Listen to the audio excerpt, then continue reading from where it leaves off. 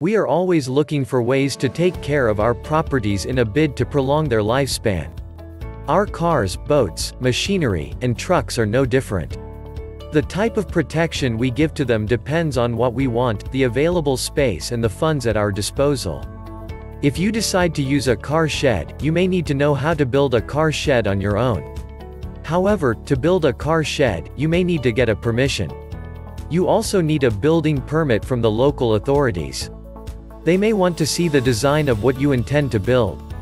Such a structure can change the value of the property and add to the facade of the environment. Because of these alterations that these types of structures can bring, seeking and getting permission is very important.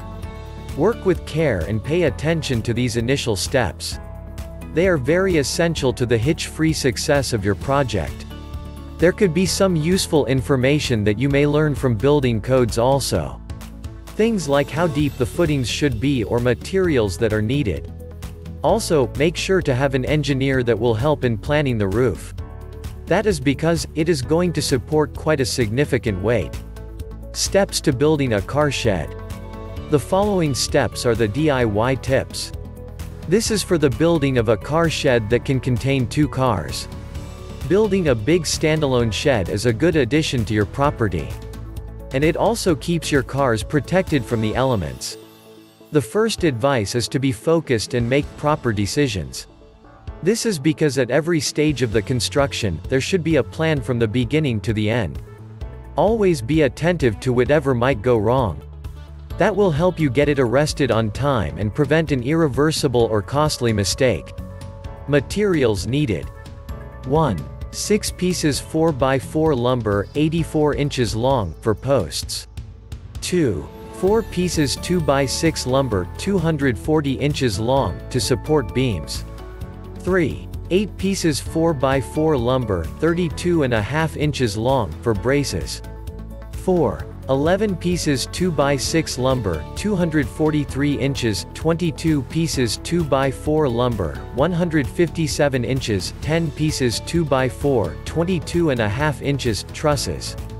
5. 300 square feet 3 quarters inch chiseled plywood, for gable ends. 6. 8 pieces 2x4 lumber, 157 inches, 30 pieces 2x4 lumber, 7 inches long, overhangs. 7. 18 pieces 3 quarters inch plywood, 4x8, for decking. 8. 600 square feet underlayer tar paper, for underlayment. 9. 600 square feet asphalt shingles, for roofing.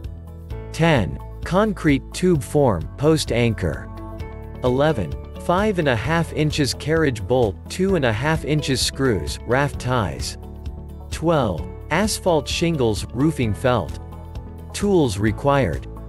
1. Safety glasses and safety gloves. 2. Jigsaw and miter saw.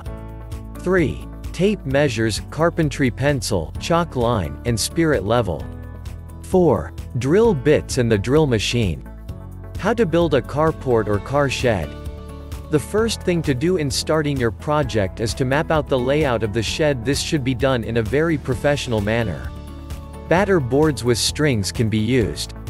If not, the result you would get may not be professional. Apply the rule of 3, 4, 5 to each of the corners to be sure that they are in a right angle.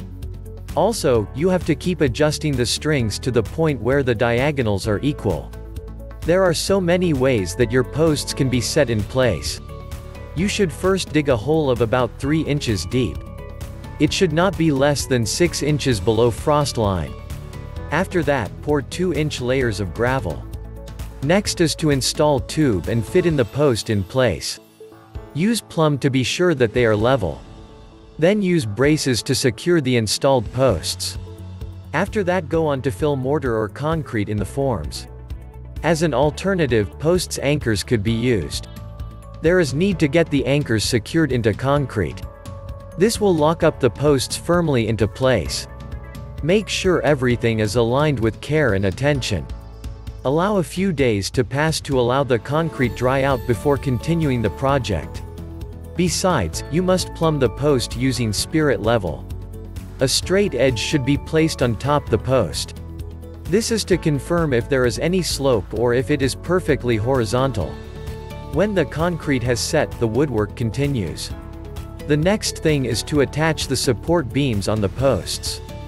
After that, drill pilot holes through the posts and the 2x6 beams. The beams are then clamped in place and the 7 inches carriage bolts inserted.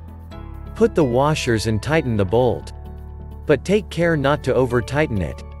This is to avoid splitting the wood. Considering the expanse of the roof, the frames need to be reinforced using braces. The braces should be built using 4x4 lumber and their ends cut at 45 degrees angle. The braces will then be attached into place. Next is to drill in pilot holes. The pilot holes will be locked into place using 3.5 inches galvanized screws. The process of getting the roof built can be quite complex because the frame is wide. You need to gather a lot of roof trusses to a level platform. The components need to be cut into the right sizes. After that, you lock them together tightly using wood screws. Use the 2x6 lumber to make the underneath rafters. And use the 2x4 lumber for common rafters. It will be a wise move to include many intermediate rafters at the end of the trusses. They will help support the gable ends. We also advise that you use half an inch plywood gussets to fortify the joints. The gussets should be attached on top of the joint. You then lock each of them tightly with nails. The weight and size of the trusses might be too much for you alone to handle.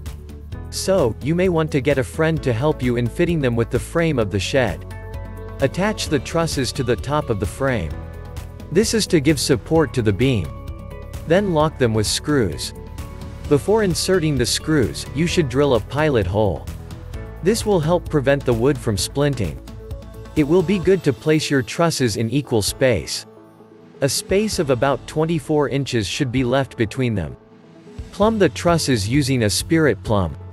You then use braces to get them locked into place. After that attach the decking sheet.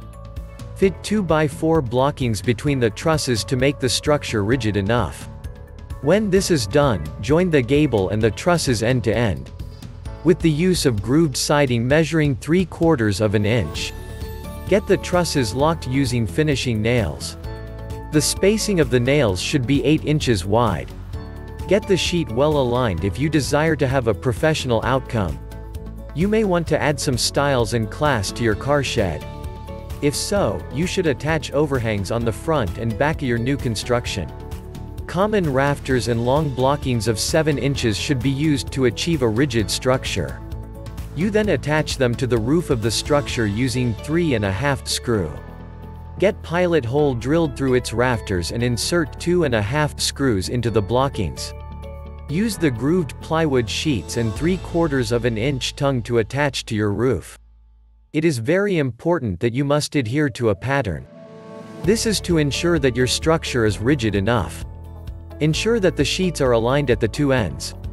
Get them locked onto the rafters using one and a half inches nails. The spacing of the nails should be 6 to 8 inches. It is important that the gaps formed between the laid sheets are closed. That will help your work have a professional look. To uplift the outlook of your project, use a 1 quarter inch plywood and attach it to your rafters. Also, 1x6 trims should be fitted to the ends of the rafters and the overhangs. Get the plywood and trims secured into place with 1.5 inches finishing nails. To give your work a professional look, and prevent any future issues, work with care and attention. Get the roofing of your shed covered with a roofing felt. Make sure they are overlapping each other at the strips by a minimum of 2 inches. Get the paper tar secured on the plywood with a roofing staple. Also, get a 12 inches PCs that will go to the top of the ridge. Fit the edge of the drip on the roofing felt. While the drip edges below should be fitted under the roof felt. The next thing is to get the starting course placed under the roof. This should be done before the asphalt shingles are installed. Always follow the manufacturer's instruction before you start the installation. This is because there are different aspects that may differ. Finally, to make your work looks neat, check the shingles. Make sure that they are overhanging down the drip edge by one quarter of an inch. Also, the asphalt shingle should be secured with tacks on the roof deck. If you've enjoyed this video, click the subscribe button below and hit the notification bell so you'll know once we post a new video. Also, drop a comment below so we can know your thoughts. Finally, don't forget to check the description below for more details and visit our site www.zimcarportplus.com for more awesome carport content like this.